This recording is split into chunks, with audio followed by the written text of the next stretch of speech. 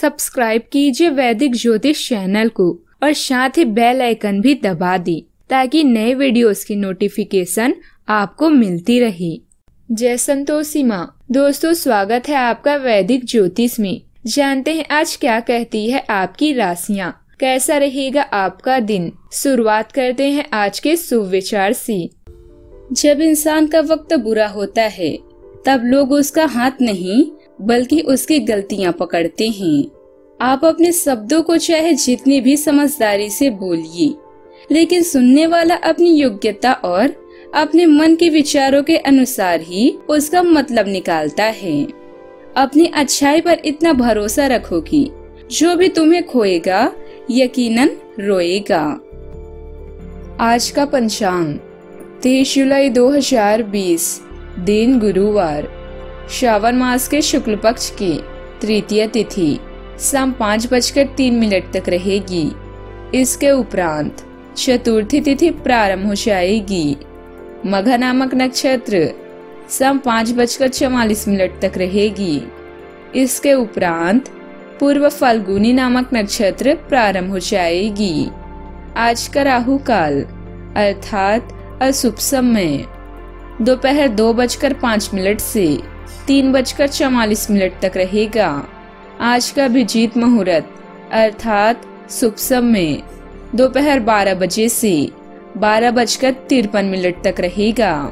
आज चंद्रमा सिंह राशि पर संचार करेगी और आज सूर्य कर्क राशि पर रहेंगे।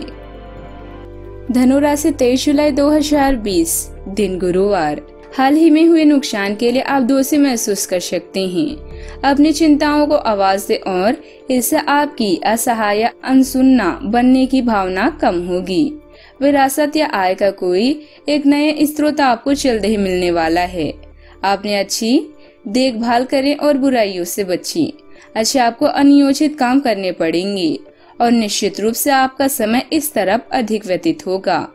अलग अलग पृष्ठभूमि वाले लोगों से मिलने का मौका मिल सकता है। अपने सहकर्मियों या अन्य लोगों के साथ यात्रा या कैंपिंग का मज़ा लें। जीवन में कुछ भी संभव है, बस परिश्रम करें और सकारात्मक महसूस करें। अच्छा आपको हैरानी होगी कि आपके उस समस्या को, आपने उस समस्या को सुलझा लिया है, जिसे कोई भी नहीं सुलझा पा रहा था।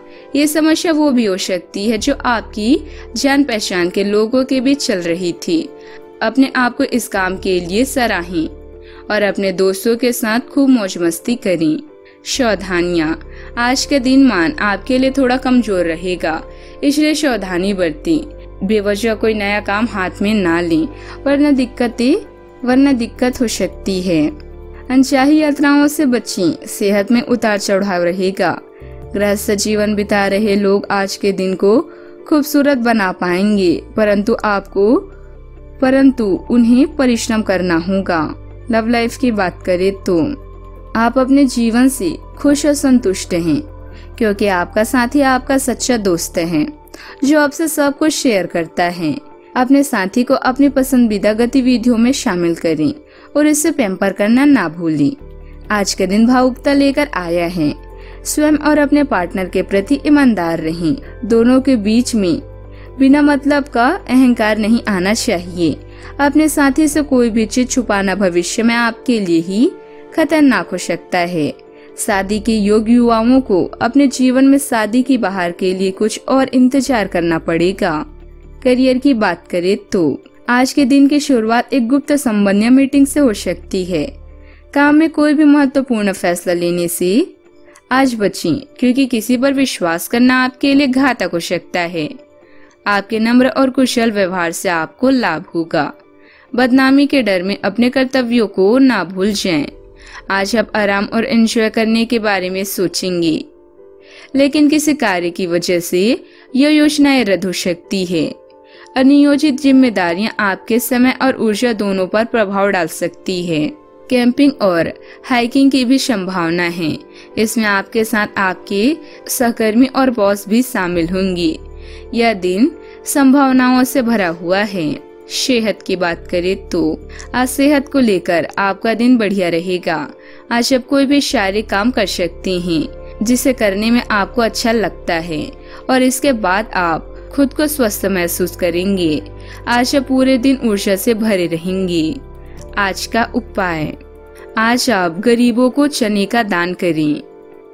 दोस्तों, वीडियो को लाइक, शेयर करना ना भूलिएगा। मिलते हैं अगली वीडियो में। आपका दिन शुभ हो।